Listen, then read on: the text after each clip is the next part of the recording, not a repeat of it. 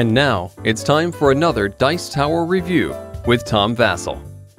Hey folks, today we're taking a look at Smash Up Munchkin.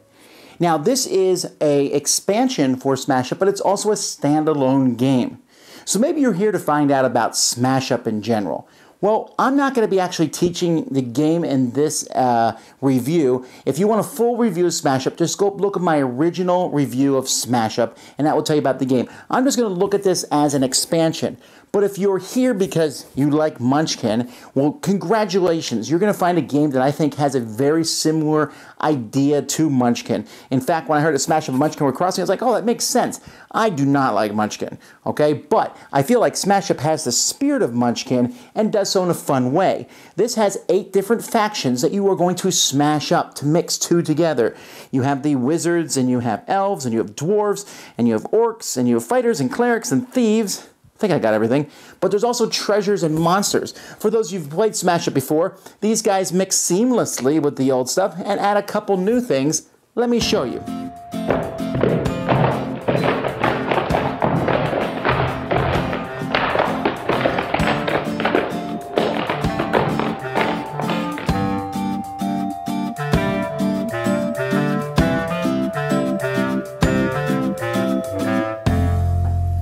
So first we're going to look here at the bases of this game.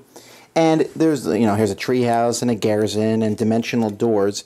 But the thing about each of these bases is that they have monsters on them. Now the way this works is when I draw a base, so let's say I draw the gauntlet. It says three monsters. So another deck of cards, which is monster cards, I'm going to draw three monsters and place those here. So Bigfoot, Poultrygeist, and the web troll are there. Now these act as regular minions. So for example, here there's set they have a seven power, and they also have different things. If he's the only monster here, Bigfoot is plus three. He's not. Uh, this one's undead, and this monster has plus one power for each other undead monster there. So there's none. This one says play another monster here. Oh, here's a ghoul.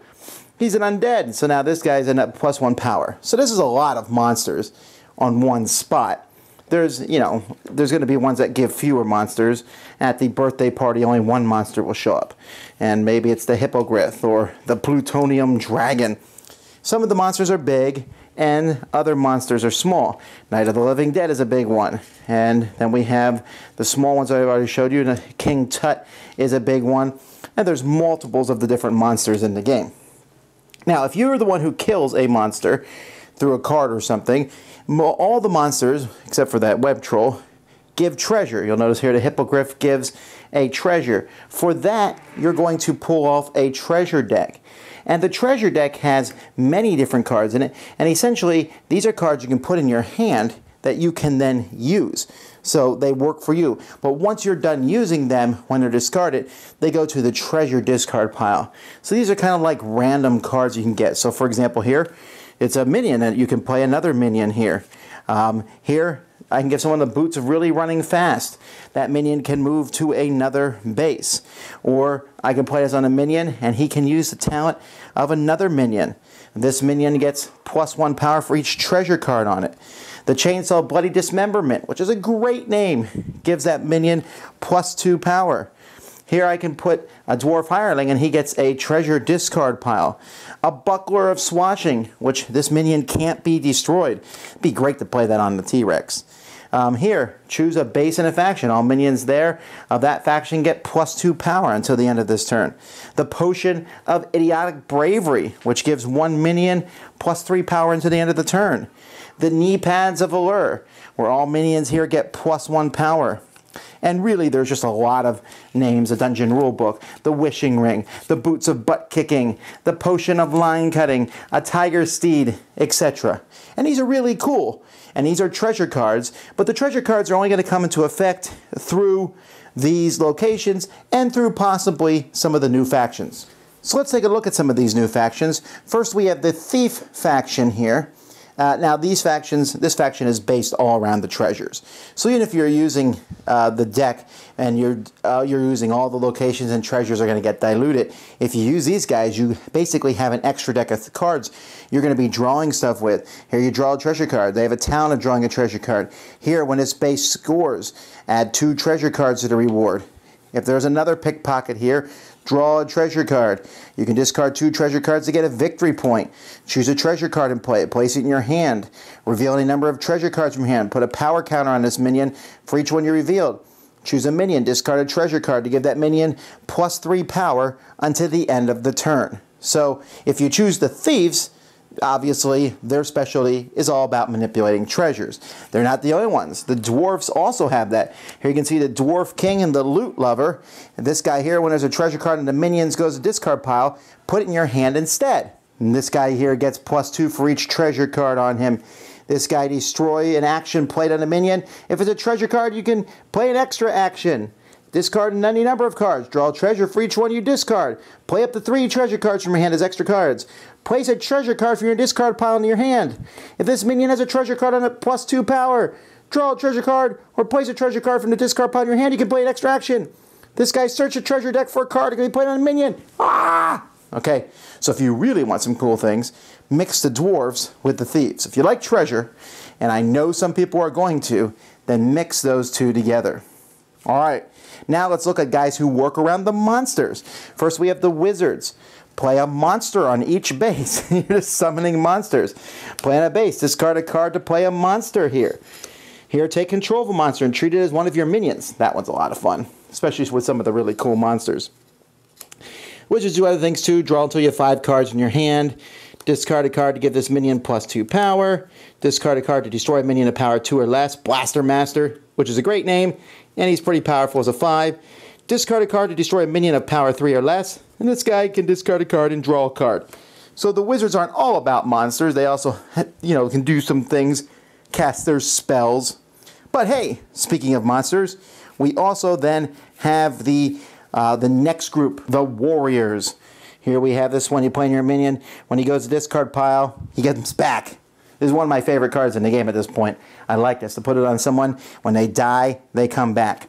This guy here gets a plus one power counter every time he kills a monster. Each of your minions on a base that has a monster gets plus two power. Destroy a monster or play a monster here.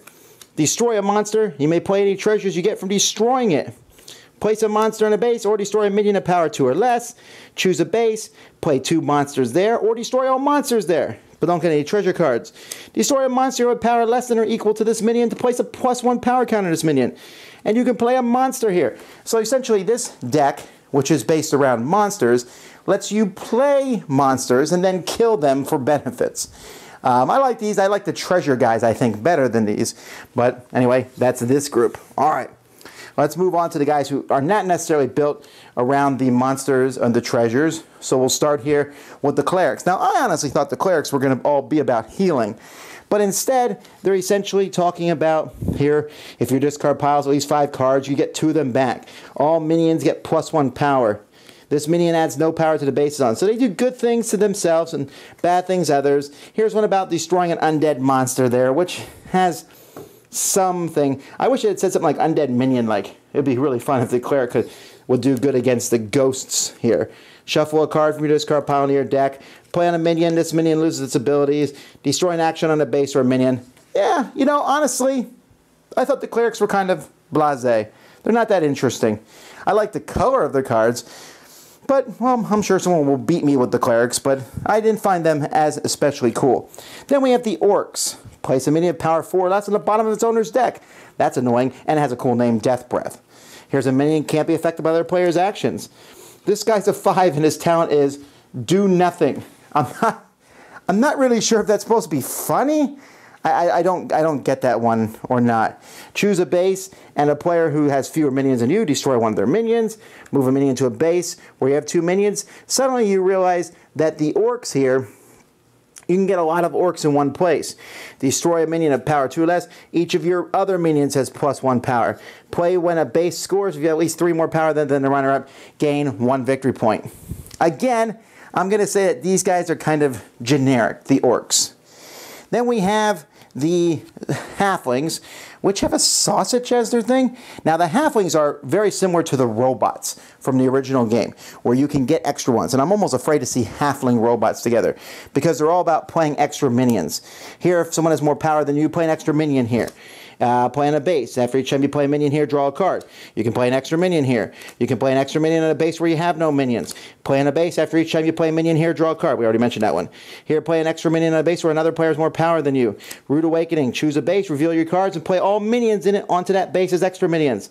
Cancel their abilities until the end of the turn. So you want to play a lot of guys quickly, you're going to like the Halflings. And I'm still thinking a Halfling Robot deck is going to be really vicious. And then the last faction is the elves. Now, the elves have the interesting ability of helping other people that helps them, like the philanthropist in Cosmic Encounter. Choose another player, they get plus two power, but then you get a minion who gets plus three power. You can play a plus one power on a counter to put a plus one power counter on one of your minions. Each other player draws a card, and then you draw a card for every other player in the game. Here, you give another player control of this minion until it leaves play, but you get to take control of one of their minions of power 3 or less. You give all your player minions here plus 1 power until the end of the turn. um, so you can do that, which can actually, you can manipulate that to be useful. And then another player of your choice draws a card, draw a card. So these are the different factions that come with this set. This set also comes with some new tokens that match the, the they show flowers and things like that on them. And it also comes with dividers so you can fit everything in the big geeky box. Speaking of the big geeky box, here it is with everything from Smash Up inside it at this point. And you can see that everything fits in almost one row. So we got plenty more room. Still smashing the rule books up in here, have the tokens in the middle, and some custom stuff for the game. But it all fits in very nicely. So there you have it. So there you go. That's what's in this box. Now, uh, again, I'm taking a look at this as an expansion. As a, as a, as someone's jumping into Smash Up, this is great. If you know someone who likes Munchkin, buy them this game. Teach them this great game, Smash Up. I really enjoy the game. Uh, as an expansion, I really like the monsters and the treasures. Now, it's funny, the rulebook, for the first time I can think of, says, now you should be careful about mixing all the bases together because you'll basically dilute everything.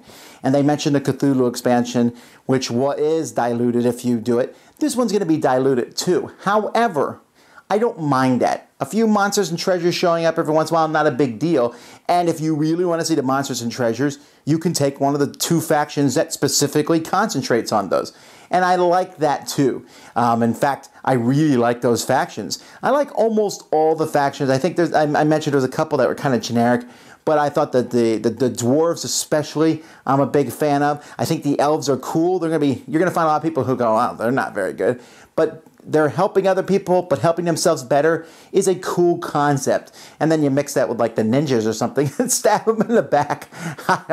um, like I said, the artwork fits in with the Smash Up artwork already. The theme fits in, and there's all kinds of cool combinations now. You can have uh, dwarf ghosts. You can have dinosaur clerics. You can have Russians riding bears, or with or shapeshifters mixed with um, oh, orcs, shapeshifter orcs. I don't know. I, I like that. The, the combinations keep getting greater. I think this is a very solid version of the game. I think it's going to be cool. I like the addition of the of the treasures and and monsters. They don't add too much complexity to the game, and actually, I think make the game go a little bit quicker. It just fits together. So whether you're getting this as a base game or as an expansion to Smash Up as it is, certainly worth it in my opinion. Don't let don't let your if you're someone who like me is not a big fan of Munchkin.